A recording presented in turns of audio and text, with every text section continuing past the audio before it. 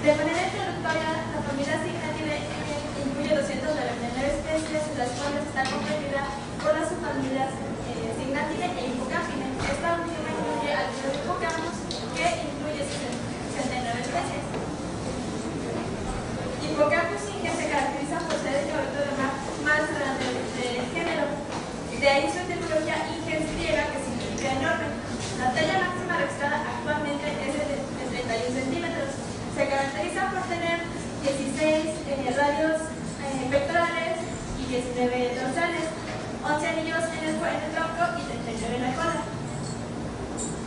Hippocampus ingens se distribuye desde, San California hasta el norte de Perú incluyendo el Golfo de California y las Islas Galápagos. En Baja California Sur se ubica en Bahía Concepción, Loreto, Ensenada de la Paz, Bahía de la Paz, Cabo San Lucas, Cabo Pulmo, Bahía Magdalena, este, San Ignacio y Laguna de Juan Vive en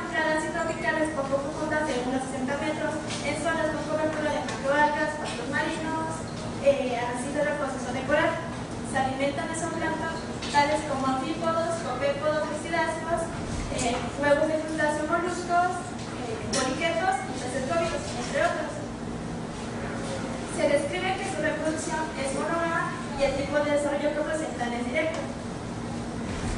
Como antecedentes tenemos dos trabajos de histología en el género. El primero es de Consi Colaboras en el 2001, quienes realizan una exploración en la configuración de los relacionamientos de los rayos de la aleta dorsal en hipocampus posterior y de hipocampus erectus.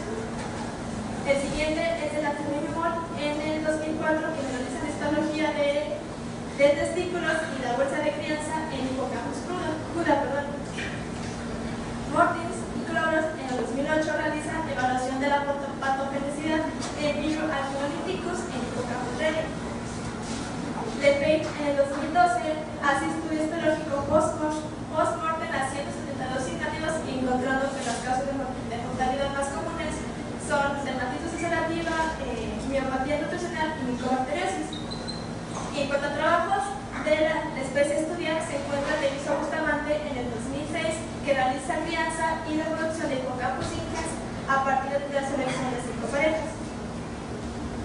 Como justificación, sabemos que los caballos de mar tienen una importancia en la explotación comercial debido a su gran uso medicinal, en, en, debido a su medicina, a su uso en la medicina tradicional en varias culturas como la china y la europea, y se comercializan más de 20 millones de caballos al año. Y debido a esta sobreexplotación, no fue hasta 2004 que se incluyó en el apéndice 2 de la CITES, también está en la lista roja como especie vulnerable y en la NOC 059 como protección especial. Y una manera de reducir esta sobreexplotación es a partir del cultivo en unidades apícolas. Sin embargo, una de las principales mortalidades en el cultivo del cabello de mar es por medio, es debido a la infección de microorganismos como son hongos, parásitos, bacterias virus, de los cuales se desconoce su patología y por ello su tratamiento. Y para dar base, para dar base eh, al estudio patológico de hipocampus inges, se propone establecer una descripción histológica normal. Se propone como hipótesis que el estudio anatómico e histológico de hipocampus inges nos permitirá elaborar un modelo de la histología normal. Objetivo tenemos elaborar una descripción anatómica e histológica de los tejidos y órganos de juveniles de hipocampus ingens. Y los particulares serían describir características anatómicas externas, identificar características morfométricas y por último identificar y describir histológicamente los órganos. Como pueden ver, son las condiciones de cultivo las tenemos los organismos.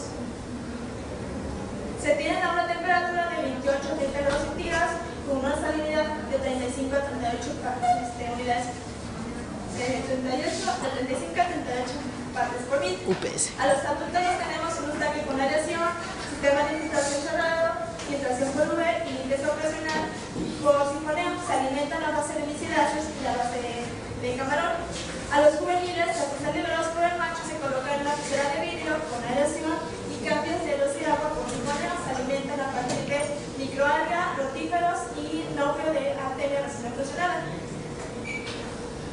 Eh, se, se, obtuvieron 35 organismos provenientes del tipo macho de distintos nacimientos, el primero el 26 de agosto y el segundo el 16 de septiembre. Se, se procuraron tomar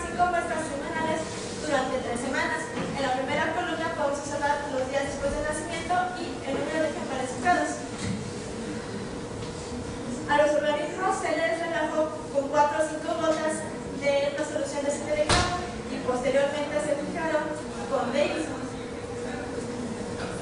A estos organismos le vamos a, le vamos a tomar fotografías con un microscopio estereoscópico, se van a medir con el programa Action Vision y se, va a, y se van a pesar con una balanza analítica. Posteriormente vamos a hacer la técnica histológica, la cual va, la, cual va a consistir en una deshidratación con soluciones de etanol 70, 80, 90, 96 y 100%, prepararán con citresol y se va a realizar la inclusión en bloques de paraplasma. Se harán cortes de 4 a 7 micras con micrótomo y el tejido se va a colocar en un medio de flotación el cual contenerá agua y bioretina a 40 grados centígrados y esto nos ayuda a extender el tejido. Y posteriormente se van a colocar en una plancha de metal caliente para aumentar el secado. Y tras el secado se va a, se va a teñir con hematocina, gireosina, hidroxina, triclónica de gomori y toluidina.